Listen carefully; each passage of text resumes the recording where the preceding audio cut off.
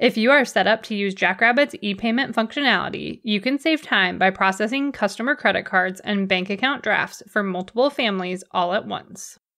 Before you begin, be sure families have their e-payment method field set to either credit card or bank account and have credit card or bank account information entered.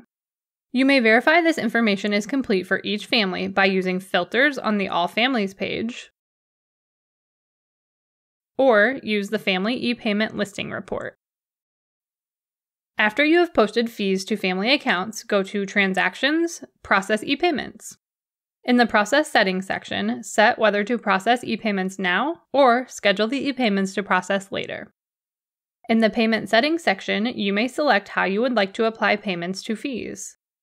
Set the payment collection setting to charge families for their account balance, or for all unpaid fees, ignoring any credit balances. In the Family Criteria section, choose an e-payment method to select the families to process. If you wish, enter criteria for e-payment schedule, location, and membership type to select families meeting all the criteria.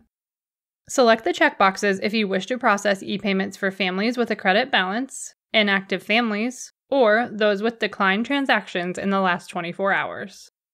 In the Transaction Criteria section, you may select criteria to choose specific transactions to process e payments for, such as transactions with a specific transaction type. Select the Preview e payments button and review the results for accuracy.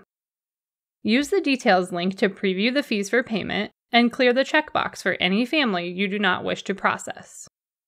After reviewing the results, select the Process Now button to send the transactions through to the gateway for processing.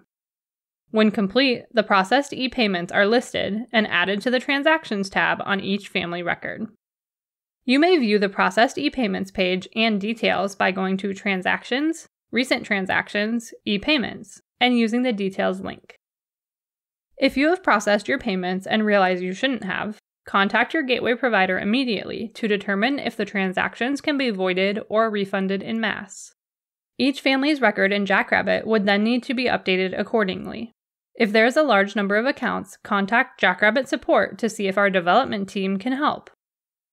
Refer to our Help Center for more information.